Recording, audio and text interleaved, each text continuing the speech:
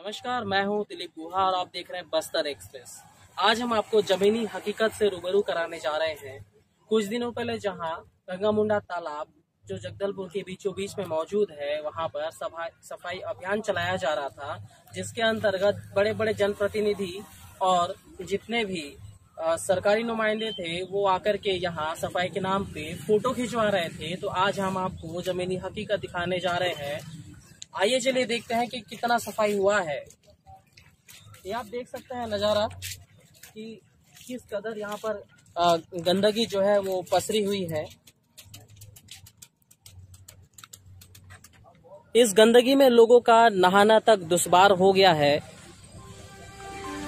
सरकारी नुमाइंदे यहाँ पर आकर के सिर्फ़ फ़ोटो खिंचवा करके अपने हाथ में झाड़ू लेकर के चले जाते हैं, जिसके बाद की स्थिति यह रह जाती है कि यहाँ पर किसी का बैठना तो छोड़िए, नहाना तो छोड़िए, यहाँ से गुजरने पर भी ऐसा लगता है कि किस गंदी नाली के पास पहुँच गए हैं।